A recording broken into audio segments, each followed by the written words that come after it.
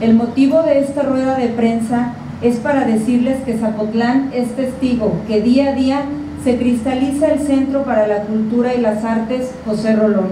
proyecto que nos permitirá posicionar de nuevo a Zapotlán como un municipio rico en arte y cultura, un proyecto que será finalizado después de cuatro décadas de ser un sueño que plasmara el arquitecto Pedro Ramírez Vázquez. Debemos informarles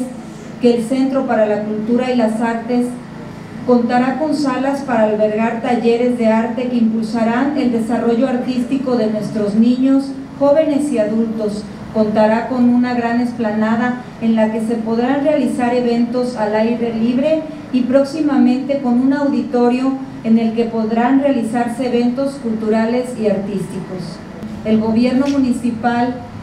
de la cuna de grandes artistas hoy le entrega a su población un proyecto que coincide con la visión que nuestros grandes hombres han tenido en nuestra tierra, un lugar en donde la cultura y las artes sean no solo un pasatiempo para los zapotlenses, sino una gran oportunidad para formar profesionistas destacados. Pero lo que sí ratifico pues, es mi compromiso a buscar el cómo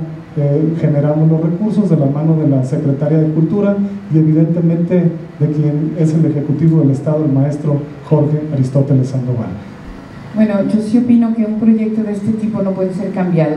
Eh, en primer lugar, el proyecto en sí es un proyecto de autor, es de Pedro Ramírez Vázquez, no hay manera de, de cambiarlo ni de darle otra vocación, para eso fue hecho. Ahora, sí que hay que hacer esfuerzos para seguirle trabajando, sí le hace falta todavía mucha inversión porque ahorita estamos recibiendo la primera parte, pero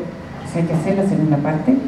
y, pero de eso nos encargamos, nosotros sí vamos a estar ahí, seguimos adelante y sabemos que contamos con nuestros diputados federales y además estamos seguros, pero seguros, porque yo lo he visto en todos los municipios, cuando hay grandes proyectos culturales, las administraciones salientes y entrantes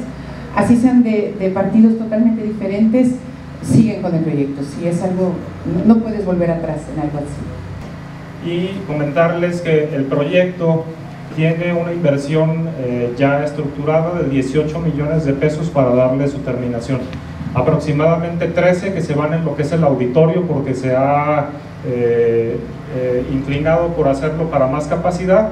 y el resto sería para terminar lo que viene siendo el área de, el vestíbulo,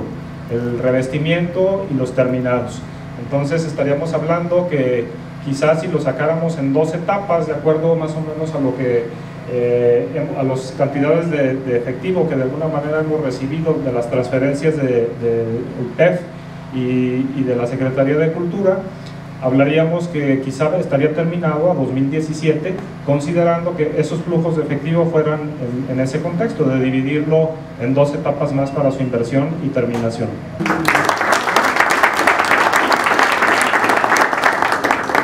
También funcionarios del gobierno municipal, medios de comunicación, sean todos bienvenidos. Y empecé por poner esta parte, esta parte